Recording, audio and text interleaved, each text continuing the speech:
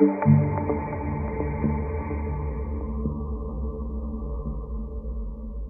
don't know, there's probably very few neuroscientists, or you know, only a fraction of neuroscientists that would agree with this statement, I suppose.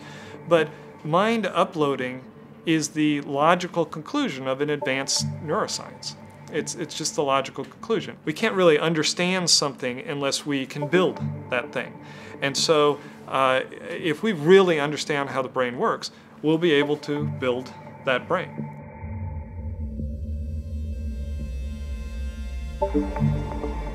From all the research that I've done so far, the best method that we have currently for preserving who we are is not cryonics. From what I've seen so far, the best method would be chemical fixation. Why? Because that's what scientists use to study the brain. That's what we use to preserve neural structures when we want to understand how the neural structures function. And whereas cryonics has been developed by a handful of researchers with very limited funds, electron microscopy of neural tissue, it's being done by the entire neuroscience community. I work with the technology that takes small pieces of brain tissue and maps those connections at their basic level of circuit connectivity.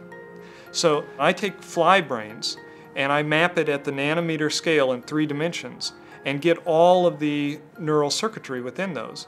And I fully expect I will be able to read off the algorithms that control the fly uh, flying around. You know, that is, that's that's what neuroscience has been telling us for all these, uh, all these years, and that's what we're doing right now. We're, we're testing it with connectomes.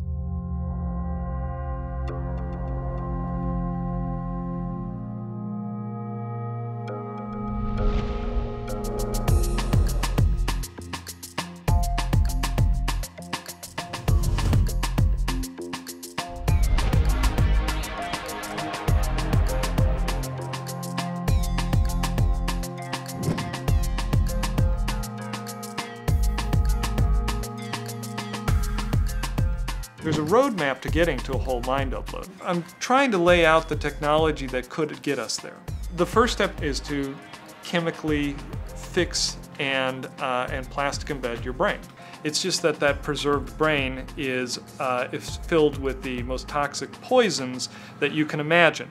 It is, it is uh, preserving the structure of the brain, but it is not preserving uh, the ability for those proteins to get back into their uh, their old routines. What's going to happen is that the preserved brain is going to be sliced up into pieces, and those slices are going to uh, go to different electron microscope machines that will then slice them up even finer to get very high resolution maps of where every neuron connects. Once you get that high resolution map of how every neuron connects to every neuron, that is like having a map of the circuit diagram of your computer and its information on the hard drive and everything else that, that is the information processing in that computer. So that map really contains all of our memories, it contains all of our skills, all of our ability to perceive stuff, all of the routines that, that create our self-model. All that has to happen to make those alive again is to take that map and put it into a simulation of the computation that used to go on in that brain. And you hook that simulation up to a robotic body or a virtual world, and the person will be alive again. That's my perspective.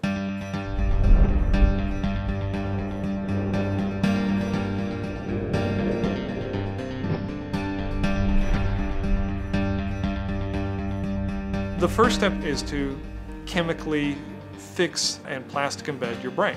That hasn't even been demonstrated for anything larger than a mouse.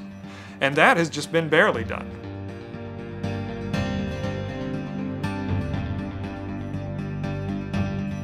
Right now, the technology is available to map about a tenth of a cubic millimeter of brain tissue at the necessary resolution A million dollar instrument, several months, we can get that tenth of a, of a cubic millimeter.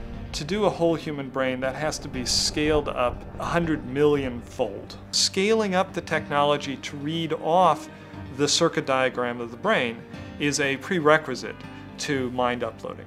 But the type of circuit that a brain has is very different from a computer, and the type of program that a brain has is very different from the type of program that you have on your computer. You also have to be able to know the function of those neurons, and those are experiments that are ongoing.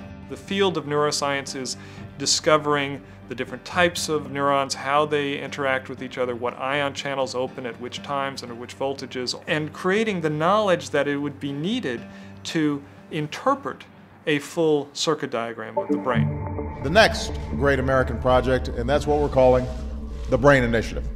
There's this enormous mystery uh, waiting to be unlocked.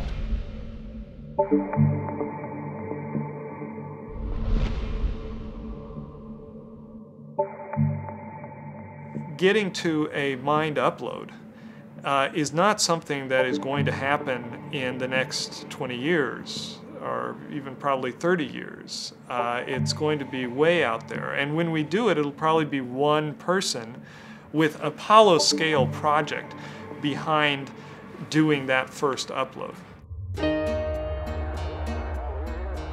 Would I want to be the, the, the first person, the 10th person, the 100th person? Uh, uh, I would want to be the first person. I would have loved to have been the first person on the moon. And there was a line of people behind Neil Armstrong that would have gratefully gotten on that rocket knowing that there was a good chance that it would have blown up. Because that is adventure. That is the height of adventure, to step on another planet. And that's nothing compared to what we're talking about.